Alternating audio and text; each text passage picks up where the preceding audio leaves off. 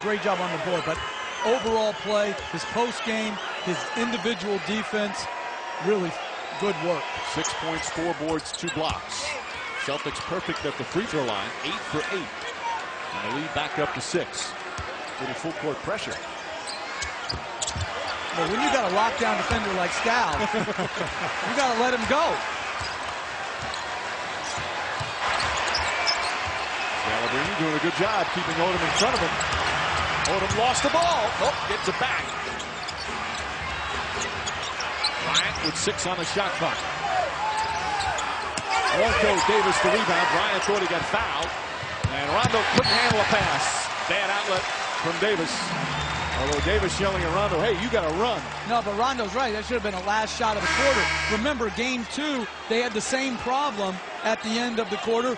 Poor outlet pass led to Kobe Bryant's three. And you talked about Scalabrine's lockdown defense making fun. But the bottom line is that possession was picture perfect. Paid attention to the to the, the scouting report, did not allow Lamar to get to his left hand and forced them into getting rid of the basketball. Absolutely. He's a very good. Remember, he had a 25-point game against Detroit in the playoffs when he was with the Nets. He's a serviceable player. Nine seconds remaining. Shot clock off. Tony Allen, who's done an excellent job on Bryant in this series, guards him here. Bryant to drive, kicks it out. Shannon Brown fires it up. Nope, they wave it off. Would not have counted anyway. And that's fitting for the Lakers. A missed shot to end the half as they shoot 26% from the field.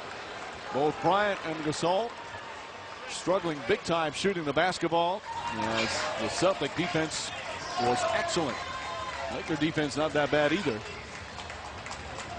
And Paul Pierce leading the way with 11 points for the Celtics. He's with Doris.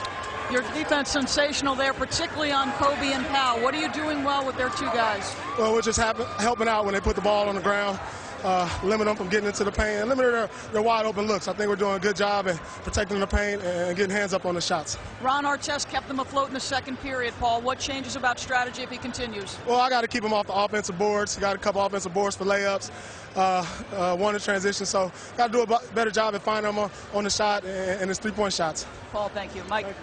All right, Doc Rivers keeps saying that he's their best scorer. He was in the first half. As the T-Mobile halftime report coming up next with Stuart, Magic John, and Michael.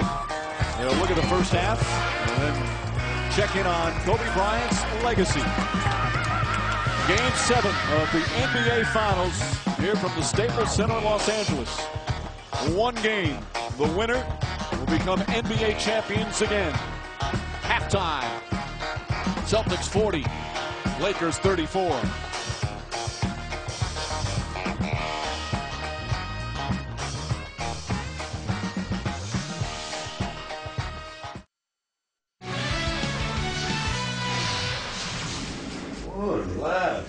Game. You know, use your ball fakes. Use the ball movement. The key for us this next 24 minutes is we got to stay aggressive, keep attacking, all right? And every possession is big. We can't take one off. All right? We can't take one off. We got to go get this, right? Halftime of game seven of the NBA Finals from Los Angeles. And the Celtics right now with a six-point advantage. 24 minutes or perhaps more to come. And see some very ugly offensive numbers, especially for the Lakers. Shooting 27%, you're going to have a lot of chance for offensive rebounds, 15 of them. But they still trail by six as we get set for the third quarter. And hi again, everyone. A very strange first half. The defense, they played with such passion. They played so hard. They made it very difficult for any offensive rhythm. And for the Celtics, the key for them is always if they can get things going in terms of the running and transition game. It was hard to do, but when they did, it was effective. It was, and the key is they defended well, but they didn't rebound the ball well enough. But when they did do it, they got transition opportunities. And this is our Windows 7 winning combination. You see Rondo, the high outlet near half court. He attacks. Two Laker bigs are str struggling in transition. He gets all the way to the rim.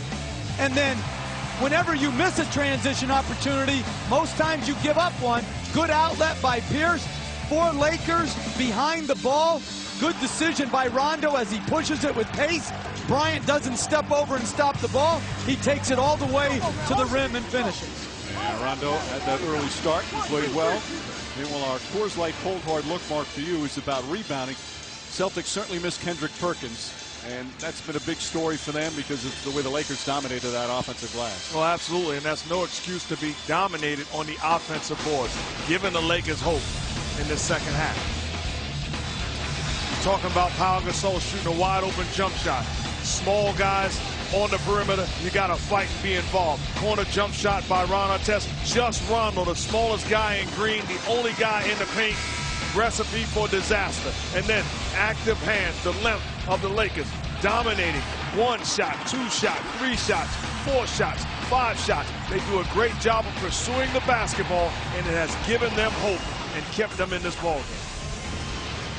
Well, with 24 minutes to go, the NBA championship still very much up for grabs as we check in with Doris Burke. Mike, I caught up with Laker assistant Frank Hamblen. There was real frustration in their inability to swing the basketball offensively. I asked him what Boston was doing differently. Defensively, he said they're trying to keep Kobe on one side of the floor. We have preached as a staff all series to swing the basketball. If we don't do that, we'll be ineffective on the offensive end, guys. All right, Doris. Phil Jackson said about this game, it's a high-tension situation. Nice pass, Rondo to Garnett. Just in that first half again, Talk about a little bit how much of it is some game seven nerves? How much is fatigue? These guys are really battling out there. Well, they're competing extremely hard. I thought near the end of the half, the Celtic perimeter players were very tired as Artest went to the rim. And good second effort. Pierce blocked the first shot. And the strength of Artest, he's got 14 points to lead all scores. And it's been in the paint where he's done his work. Rondo, you see wearing that band-aid. He got four stitches in game six, and he took a shot from Artest on a drive to the basket. And Kobe Bryant, count it, and a foul. No, they're going to say before the shot. The foul is on Bryant. Garnett felt the contact and wisely threw it up at the basket, banked it in, but they will not call continuation.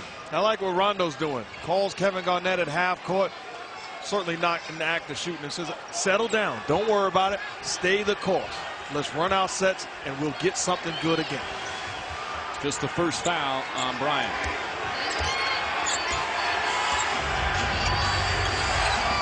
Rondo looking for Ray Allen.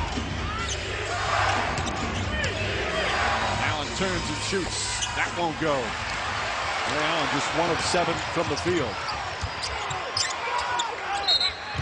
Foul on the pass. Rajon Rondo picks up his second. Right now, foul problems is only one player who has three. That's Kevin Garnett. Of course, that means a lot for the Celtics. Without Kendrick Perkins, out with a knee injury, suffered in the first quarter of Game Six. And Garnett talking a lot emotionally about Kendrick Perkins. Remember, it was Garnett last year who missed the playoffs with that knee injury. He knows what it's like to sit and watch how difficult that is. Perkins, very popular player on the team. A significant loss for the Celtics.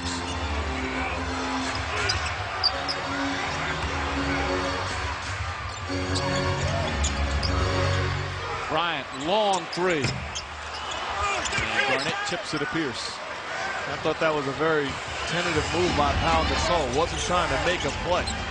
Nice pass inside. Garnett gets it to go. And a foul. Lob pass in, and the Celtics back up by eight. Rondo is playing outstanding basketball tonight.